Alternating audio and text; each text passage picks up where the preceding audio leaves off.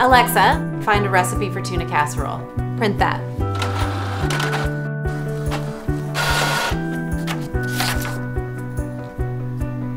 Alexa, open all recipes.